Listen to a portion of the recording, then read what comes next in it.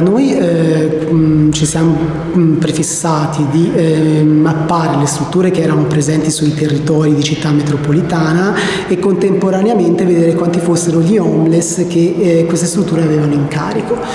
Eh, noi abbiamo rilevato circa ehm, 550 presenze di homeless eh, attualmente in carico a servizi sociali pubblici e strutture di terzo settore in rete con il pubblico e non in rete con il pubblico.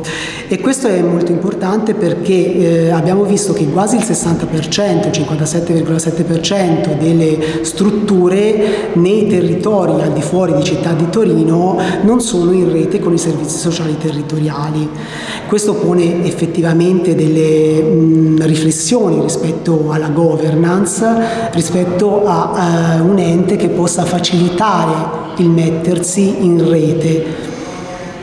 Ehm... La metodologia che è stata usata in qualche modo distingue fra senza tetto, senza casa, ehm, cioè un, una variegatura piuttosto complessa sì. di condizioni di eh, homelessness. Sì, sì ehm, nella letteratura eh, sono presenti varie definizioni di homeless, eh, questo pone dei problemi sia di rilevazione sia nell'incrocio dei dati.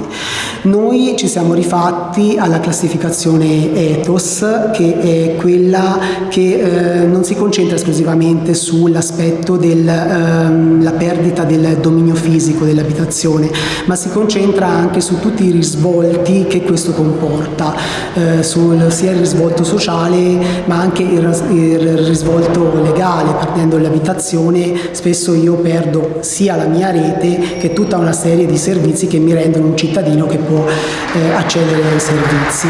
Abbiamo scelto di eh, scegliere la classificazione ethos perché questa è quella che oltre ad essere oggi maggiormente riconosciuta in letteratura è anche quella che eh, è stata adottata nel 2013 dalla Commissione europea.